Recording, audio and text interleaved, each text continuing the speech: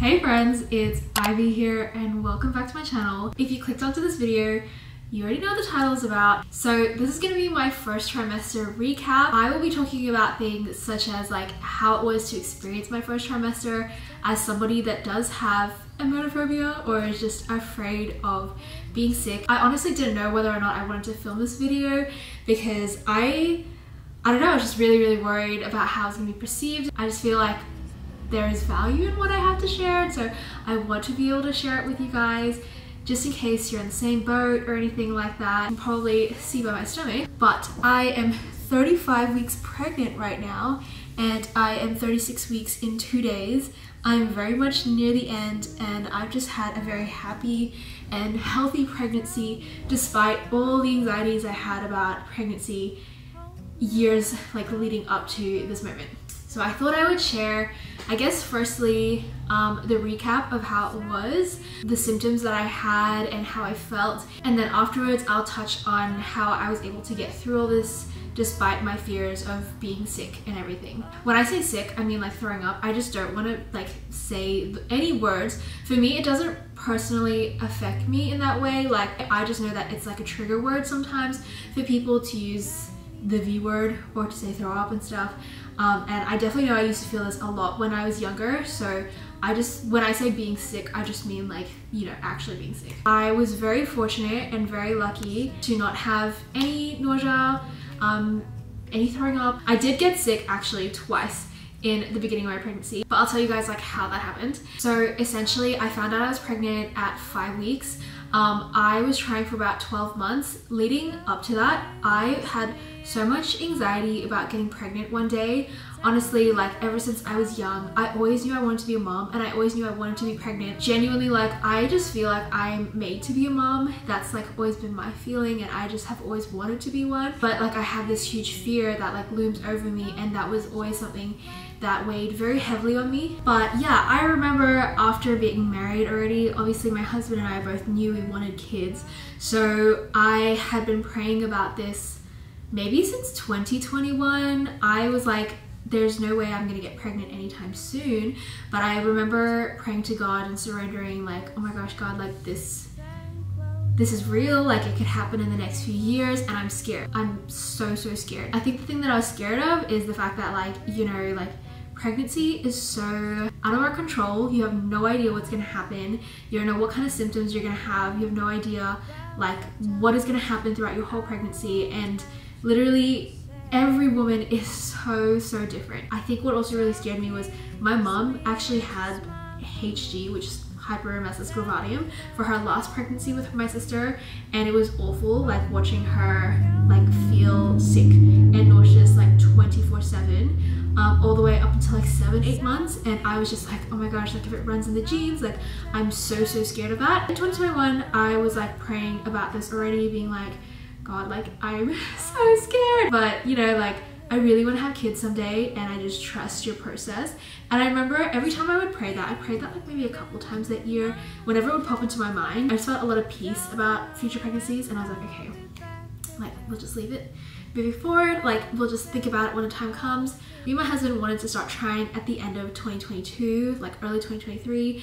So you can watch my story in my previous video, but I prayed about it, timing felt right, it felt right, and as scared as I was, I really wanted to trust God in this area because I did really want to have kids and I did want a family. So fast forward, I find out I'm pregnant at five weeks and everybody says six weeks is when it all starts. And so that whole week was like such a random mix of like excitement because it took us 12 months to conceive in the first place and like also fear. I was like, oh my gosh, I'm so excited, but at the same time, I'm just so nervous about what these next few weeks are gonna be like for me. Yeah, I was really, really nervous about it, but let me just talk you guys through the symptoms that I had from six weeks moving forward. Up until week six, I was fine. I didn't really feel anything. I was just really, really tired all the time. I would take a nap every single afternoon which I mean, I do take naps, but like not every single afternoon. But at this point, I was taking a nap every single afternoon. And then by week six, I noticed that my appetite started to decrease. I was hungry all the time, but like nothing appealed to me like I could not even eat like meat or anything like that. And I just really wanted like veggies and um, rice started feeling really gross to me. I had a lot of toast. Yeah, it was just like really, really like difficult because I was hungry all the time, but nothing ever tasted good to me. Textures of things were really, really weird.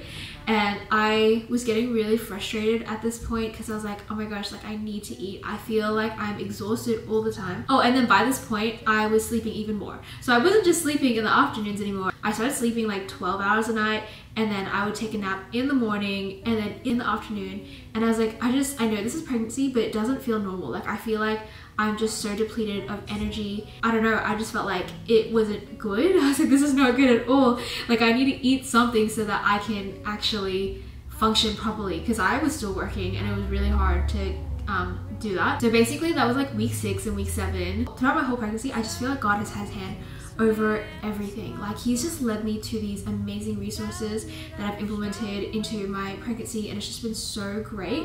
I have this book, my friend recommended this to me. She's not pregnant, but she, apparently somebody um, she knows like read this. I'll just talk briefly about this and then I'll talk more about it in detail later on. But basically it's called Supernatural Childbirth by Jackie Mize.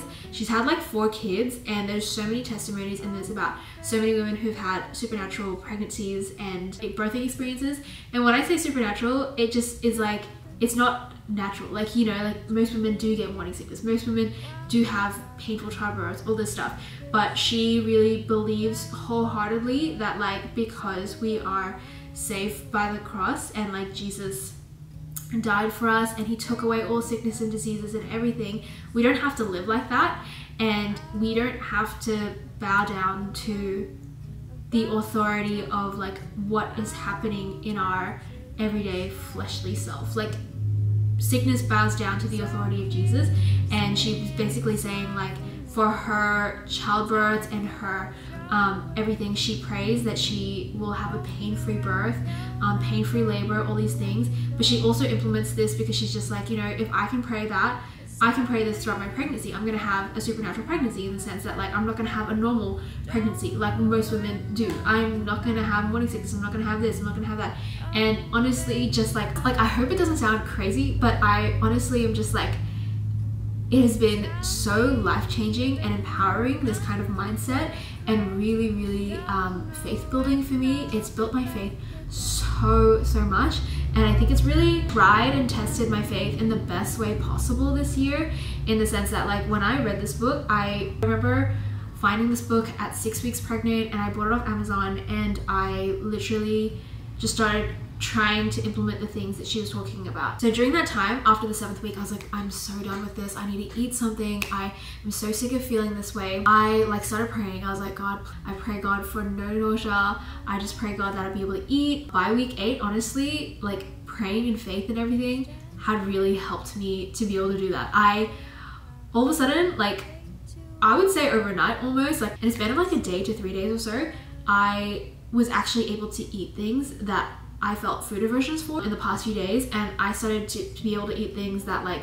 just food, like proper meals in general.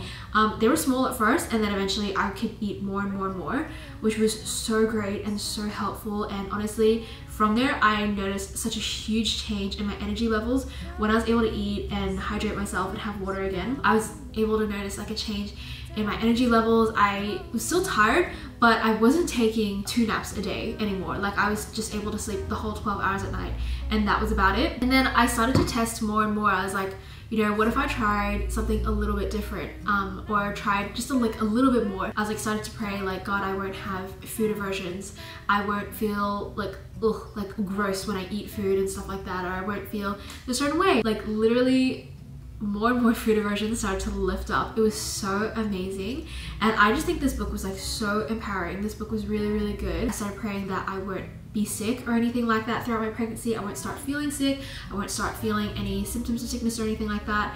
And yeah, I I did not feel sick at all. Like I, I didn't get sick throughout my first trimester. I did actually. Wait, let me just so by week nine, I actually went to a dinner at a friend's house. We had this thing called a boodle fight. It's like a Filipino traditional meal sharing type thing. It's basically like meats and rice, like different type of meats and rice, like barbecue pork, barbecue chicken, beef, rice, um, and then fruits and everything just like laid out in the middle of banana leaves. And I don't know, I don't know if it was like unhygienic or not for me to eat or I also heard that like some friends went home sick like a day or two later because like someone had had gastro or something like that. But literally two days after that dinner I was so so sick. Like my husband didn't get it which was really lucky for him. But I was so so sick. Like I was going from both ends which was really unfortunate. It sucked. Like it really really sucked for like two days. I was just praying for it again and it, I felt like it let up pretty easily. Like while I didn't feel great, um, I feel like I was still able to rest in that time and it did let up pretty easily. So yeah, like it was it was not fun, but it is what it is. From there, on like week 10 onwards, I don't know if this was, again, I don't know if this was like because of the incident that happened the week before. I was just like a bit shaken up. I was like, oh my gosh, like that was like not a great experience. Like I'm still settling into like eating again and feeling comfortable again in eating and everything. Or if it was just like a mix of hormones because it did say like by week 10, your like hormones really peak to the very top, then they kind of like come down a little bit but I felt so much anxiety in week 10 and week 11. It was not great at all. It was amazing because I got my husband to read this supernatural childbirth book and he was like telling me like, you know, this is not the pregnancy that we're believing for. We're not believing that you're gonna have so much anxiety and feel sickness and everything. Like believe that it's not going to happen. And it was amazing to have somebody stand by me and pray with me in that way because after that time, for him to say those things and to be there for me in that way, like it really built my faith. And I literally just was so grateful for him because like it really picked me up, just like I really, really needed that. And yeah, I'm just really, really grateful. By week 12, I feel like I started getting my energy back for sure. Like this time, I was actually able to leave the house, socialize a little bit for more than an hour at a time. I didn't have to be horizontal all the time anymore. By this point, I feel like I definitely still had food aversions, but they were not anywhere near as bad as the first few weeks of me like finding out I was pregnant and everything. And then by week 13, I definitely felt a lot better. Again, like still tired and everything. Honestly, the fatigue didn't really let up until around week 15, week 16. I found out later on it's because my iron was quite low and of course because I wasn't eating quite well like initially um, so yeah, that's probably the reason why I was just like really, really tired all the time. But eventually after a while, it started to let up and I was able to start going back to the gym. Eventually I was able to start filming like outfit videos and stuff again, like TikToks and stuff like that. Even though I had like quite the ideal like first trimester, I was really lucky that I didn't have any nausea or any like throwing up other than the gastro incident. You know, like I was just really tired all the time. I'm very fortunate that I was able to work from home the entire time. My husband works from home. He literally like took care of me 24 7 making all my food doing all the dishes all laundry picking up the things where i couldn't do anything. It was just so amazing. He's just so great. While it was ideal it was still really tough. Like i definitely felt like because I wasn't doing things that I normally do, like I'm quite active. Like I, I go to the gym, I film like content and like creating content makes me feel like me. I was able to go out on the weekends and like hang out with my friends or like go out to new restaurants because I was just so picky and I couldn't do it and everything. And I don't know, I just felt like I really lost myself for like two months. I really, really felt like I just wasn't me for two months and then eventually I started to become like me. Definitely the first trimester and the third trimester are the hardest physically. Both so hard physically in different areas. If you want me to film like a second and third trimester update after this, let me know. I might finish the third trimester update once baby's born. They're both like just honestly so physically hard, but so physically hard in like different ways. The third trimester is literally like a three month core workout constantly. And and I'm just so sore all the time but it's okay. Like we're near the end and I'm just so grateful to have gotten to this point. Now I just like want to talk more about the resources and everything that I was given. As I mentioned before like I got this book supernatural childbirth and I also have this book God's plan for pregnancy. This honestly was so great especially in weeks 9 and week 10 when I was feeling that anxiety. She talks so much about anxiety throughout pregnancy and there's so much scripture in this like it is such a beautiful book. I think I read this like three times in my first trimester because it was just really, really faith building. It does talk a lot about anxiety. I think that really helped me because I had a lot of anxiety in terms of like, oh my gosh, like I hate this feeling of like feeling sick or just like you know, just not feeling the greatest and stuff. And it also talked about anxiety in terms of like, I know a lot of women have a lot of anxiety about baby loss in the first trimester. And she touches about that like so, so heavily like in this book. And I also experienced a little bit of that. I think it's just natural for like a lot of women to experience that like constant fear in the first trimester to be like, oh my gosh, like, is this gonna happen? I don't know. Um, because baby's like safe, safe until like after 12 13 weeks. This is really really good. I just find that both of these resources have been amazing. And i just wanted to share that with you guys. I just wanted to share that terms with like i guess my emetophobia and everything. As i mentioned earlier i was really afraid of getting pregnant. Before i got pregnant i was really really scared about this like kind of my whole life. It's just something that i've just been so afraid of something that i have like really really let occupy so much mind space that now that I'm here, I'm 36 weeks this week and I'm like, what was I scared about? You know, like what was I actually so scared about?